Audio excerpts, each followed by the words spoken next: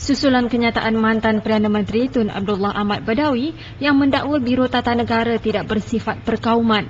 Bagaimanapun kenyataan itu diselar bekas pengarah BTN, Johari Abdul yang menyifatkan kenyataan Tun Abdullah itu menegakkan benang yang basah. Pak Lah mungkin kata uh, ada individu. Ya, individu itu bila datang khusus kita. Individu itu menyebut dalam khusus kita. Individu ini sebahagian di pensyarah kita. Sebahagian fasilitator kita. Kita nak ambil tanggungjawab lah kita kata lah, okey, kita kita mengaku mungkin ada, kita ada dan kita akan revamp. Apa yang salah pertahankan benda? Rakyat semua tahu. Tak payah nak nak menegakkan benda yang basah lah.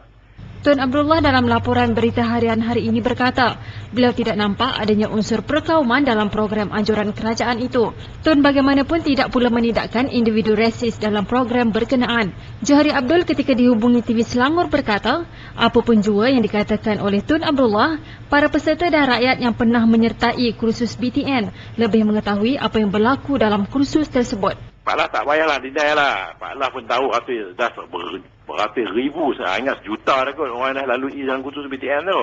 Tambahnya lagi, beliau bersetuju dengan sikap dan pendirian yang ditunjukkan oleh Menteri di Jabatan Perdana Menteri, Datuk Seri Muhammad Nazir Aziz yang lebih terbuka dalam mengakui kesilapan pihak kerajaan. Johari juga menyarankan jika UMNO mahu terus mewujudkan sebuah program resis, maka mereka boleh menggunakan kursus mereka sendiri tanpa menggunakan duit rakyat. BTN harus bertanggungjawab bila kita jemput uh, penceramah dan penceramah itu menggunakan uh, elemen rasis kepada uh, dalam ceramah-ceramah tersebut ataupun dalam kursus-kursus tersebut makanya pelanggan ataupun uh, peserta kursus tersebut akan menganggap uh, orang yang memberikan input ini sebahagian daripada BTN saya setuju dengan Datuk Nazri Aziz. Supaya jangan pertahankan mengaku ialah ada silap. Saya revamp kan? Itu saya minta tetapi kalau dia nak resis, dia nak kata apa, dia nak gunakan fitnah dan sebagainya, dia boleh buat. Tetapi buat dalam khusus UMNO lah. Yang UMNO cari duit, buatlah.